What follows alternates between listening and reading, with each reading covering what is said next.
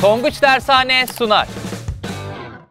Herkese merhabalar. Bugün sizlerle birlikte LGS İngilizce'de mutlaka gelen Indik için konusunun ikinci videosuyla devam ediyoruz arkadaşlar. Indik için konusundan sözelde geçen sene e, üçüncü soru bu konuya alakalıydı. Burada bize mesela e, recipe, aynı zamanda how to cook, he knows how to make a tomato sauce, işte fry böyle kelimelerle esasında bir soru cevap sorusu e, yöneltiler. Burada diyor ki işte yukarıdaki verilen cevaplara göre hangisi domates sosunun e, pişirilme sürecini anlatıyordur dedi. Kelimeleri bildiğimizi yapabileceğimiz bir soruydu. Şimdi bugün de sizlerle birlikte hem kelimeleri öğreneceğiz. Cooking process yani e, pişirme süreçlerine bakacağız. Pişirme metotlarına, cooking methods, metotlara bakacağız ve önemli soruları göreceğiz. Yani LGS'de nasıl çıkıyorsa o şekilde öğreneceğiz arkadaşlar. Sizler mutlaka tabii ki LGS'deki soruları yapabilmeniz için yani soru LGS nasıl geliyorsa öyle yapmamız lazım. Burada çok dikkatli olmamız lazım. Burada arkadaşlar kelimeli eksiklerimizi kapatacağız. Yani kelimeleri öğreneceğiz.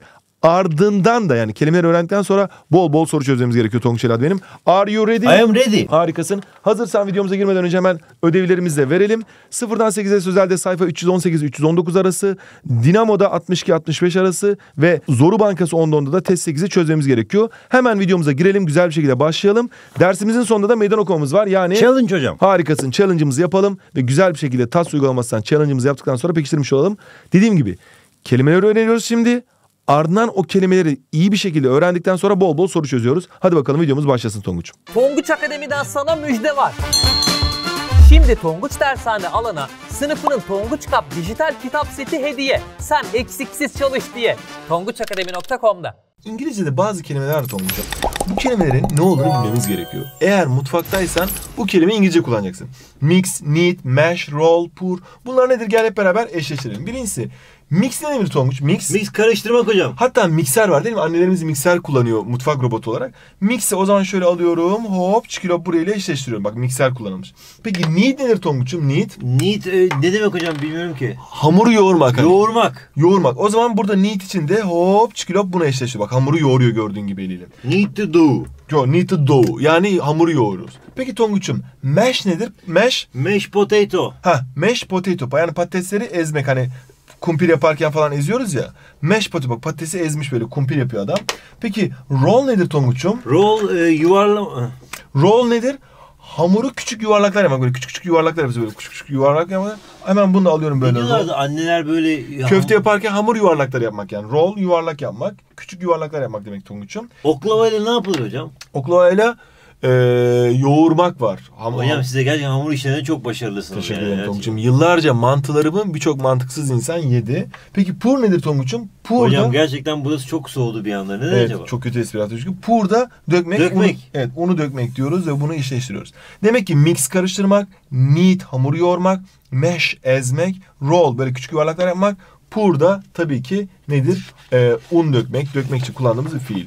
Şimdi gelelim bazı önemli important expressions, bazı önemli kelimeleri yine devam ediyoruz. Öncelikle heat demişiz. Heat ne demek? Isıtmak. Heat, oil, butter. Heat the oil veya butter nedir? Yağı, tereyağı ısıt böyle hani eritmeden önce böyle ne yapacaksın? Bir ısıt diyor. Veyahut da knead the dough yani hamuru yoğur.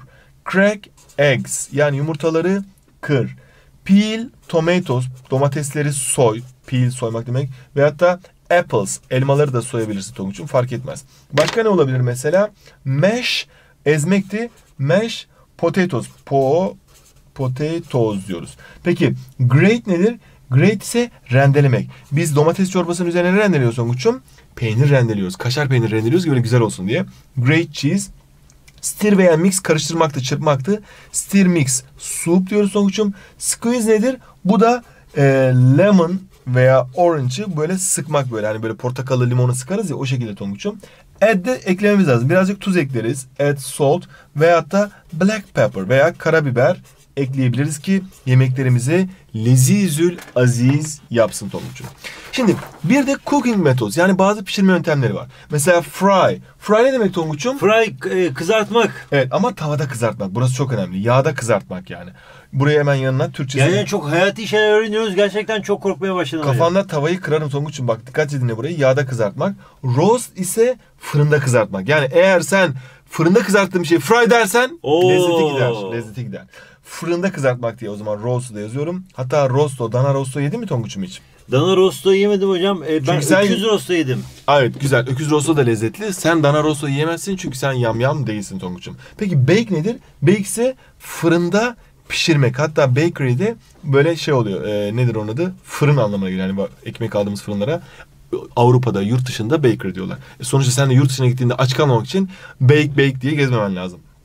Steam nedir? Steam de böyle yemeği buğulamak yani buğda pişirmek. O zaman buğda pişirmek, buharda pişirmek diyebiliriz buğulamak. Grill nedir Tonguç'um? Grill'de ızgara. Mesela mangal yapıyoruz ya biz hani gidiyoruz böyle pikniğe gittiğimizde hocam. atletimizi giyiyoruz, çizgili pijamamızı giyiyoruz. İşte o sırada yaptığımız şey bizim esasında grill, grill keyfi diyoruz yani mangal keyfi. Boil ise kaynatmak Tonguç'um. Bazen mesela makarnanın suyunu kaynatırız. Bu da kaynatmak için kullandığımız bir fiil boil. Water boils at 100 Celsius. Yani su 100 derecede kaynar diyoruz. Şimdi gelelim ingredients of meatballs. Yani köftenin içindekileri. Sen köfteyi seviyor musun Tonguç'um? Köfte horum ben hocam. Aferin. Gerçek bir köfte or köfteyi sever, yer, ardından da ne yapar? Tarifini de arkadaşlarıyla paylaşır. İşte biz de arkadaşlarımızla köftenin tarifini paylaşmak istiyorsak öncelikle içinde neler olduğunu biliyoruz zaten. Ingredients of meatballs. Köftelerin içinde meatballs, et topuklarının içinde neler var bilelim. Birincisi 500 gram of ne olacak? Birazcık Meat. meat ama onu biz meat diye değil de mince diye söylüyoruz. Yani kıyma. Sonra an onion bir tane soğan alıyoruz Songuç'um. Cücüğü de olacak içinde. An egg bir tane yumurta almamız lazım.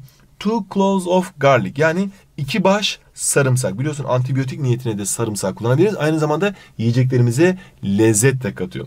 Some breadcrumbs. Hocam siz gerçekten aşçı olmalıydınız. Niye öğretmen oldunuz hocam yani? Aslında benim gönlümden de aşçılık geçiyor Tonguç'um. Belki bu videodan sonra İngiliz, İngiltere'de aşçı olabilirim. Some breadcrumbs yani bazı ekmek kırıntıları ve some black pepper. Birazcık da karabiber atacağız ki yemeğin lezzeti ağzımıza böyle yumuşacık tatlansın. Ve and cumin. Cumin nedir Tonguç'um? Cumin nedir? Söyle Ee, bakalım bana. hocam e, kamin e, Kimyon. Kimyonu Kimyon, bilmiyorsun ve kimyon. hala İngilizce biliyorum diye geziyorsun sokakta. yazıklar olsun bana. Rezil insan. Aç kalacaksın yurt dışında. Kimyon denilen ben kimyon istiyorum bu. Kimsin sen? Can you come in come in?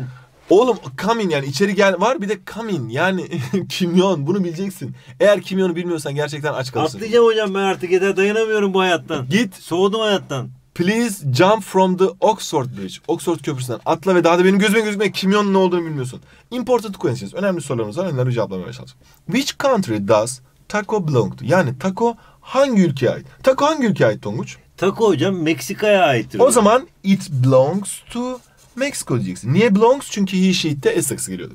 Why do you prefer vegetable meals? Neden sebze yemeklerini tercih ediyorsun diyebilirsin arkadaşına. Because they are healthy diyebilir. They are healthy. Onlar sağlıklı. Veyahut da I am vegetarian. Ben vegetarianım diyebilir. Fark etmez. İster vejetaryen olsun, ister olmasın. Eğer sen sebze yemeklerini tercih ediyorsan onları sağlıklı olduğu için tercih ediyorsun. Dolayısıyla because they are healthy, health sağlık demek, healthy sağlıklı diyebilirsin onun için. Yine başka önemli sorularımız var. How do you usually cook chicken? Tavuğu genelde nasıl pişirirsin? Sen tavuğu genelde nasıl pişiriyorsun Tonguç'um? Ben genellikle hocam tavuğu e, ilk başta hocam Çiğ e, yiyorsun değil mi? bir Doğru söyle. yatırırım hocam. Ondan sonra böyle bir yumurtalı bir sosa yatırırım. Pis herif 2-3 ya. gün bekledikten sonra e, tabii o sırada ödevlerimi de yapıyorum arada. Yani Yani. annemden izin alarak da yatıracak bir yer buldum tavuğu. Sonrasında hocam 2-3 gün sonra e, bizim düdüklüyü açarım. Düdüklüyü böyle güzel güzel e, iç- böyle güzel zeytinyağı havuçları böyle güzel güzel dilimlerim hocam.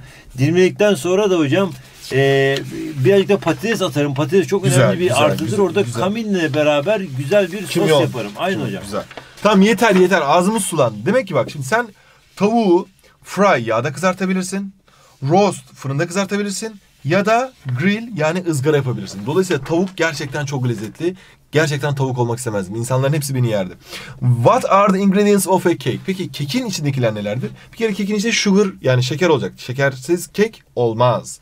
Sugar. Başka egg yani yumurta olacak. Başka flour yani un olacak. Kakao, kakao olmalı. Oil and milk, yağ ve süt de olacak ki kek lezzetli bir hal alsın ve yiyebilir. Bu haftanın ödül sorusunu yapıyoruz. Oh. Hadi bakalım Tonguç. Tonguç Dershane sundu.